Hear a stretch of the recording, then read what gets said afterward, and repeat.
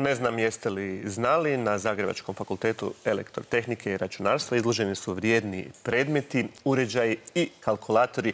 Dio njih izumili su upravo profesori FERA, koji se na taj način prisjećaju na ovom fakultetu sveučilišta u Zagrebu. Priču nam je pripremila kolegica Zdravka Đakometi. Baština tehničkih znanosti, baština Fakulteta elektrotehnike i računarstva, koju čuva 12 zavoda ovog fakulteta te njegova središnja knjižnica i arhiva, prikazana je na ovoj izložbi. Tu su vrijedne knjige, uglavnom strane, te časopisi. Stari su 150 godina, odnosno iz druge polovice 19. stoljeća. U drugoj vitrini nalazi se e, zbirka e, Zavoda za primjenjenu matematiku na fakultetu. Zavod za primjenjenu matematiku osnovan je 1919.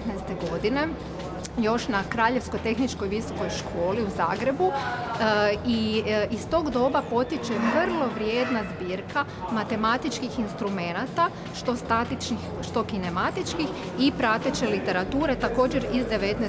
stoljeća. Treća vitrina posvećena je profesoru akademiku Josipu Lončaru koji je osnivač laboratorija za električka mjerenja. To je preteča našeg zavoda za osnove elektrotehnike i električka mjerenja koji će sljedeće godine proslaviti stotu godišnjicu djelovanja. Ostavština akademika Lončara, koji je 1926. godine bio jedan od osnivača Radio Zagreba, najvrijednija je i najbrojnija na fakultetu.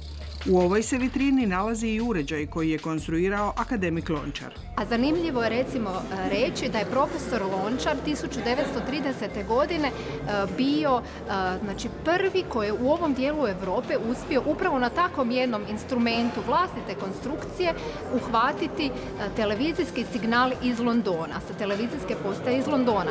I tada je to bilo veliko postignuće i o tome su izvještavali i svjetski mediji. Ovdje je jedna zanimljiva naponska vaga.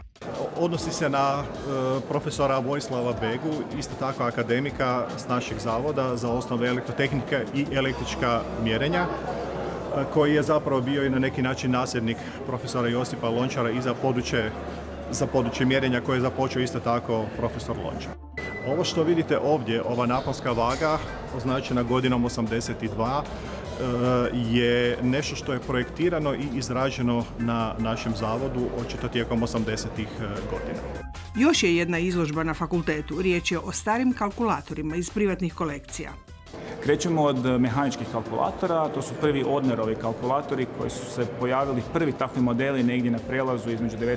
i 20. stoljeće. E, ovi naši izloženi modeli su nešto malo mlađi od toga, oni su recimo negdje od 30. i 40. godina prošlog stoljeća pa nadalje a završavamo sa kalkulatorima koji su bili na prijelazu između 20. i 21. stoljeća e, sa recimo sintesajzerom, križancem sintesajzera i kalkulatora u jednom uređaju i još nekim kalkulatorima koji su po nečem posebni. E, imamo nekoliko kalkulatora koji su putovali u svemir u sklopu američkih ili ruskih svemirskih misija. Tu je i prvi europski džepni kalkulator DB800 tvornice Buje. Buje će uskoro dobiti i prvi Hrvatski muzej kalkulatora.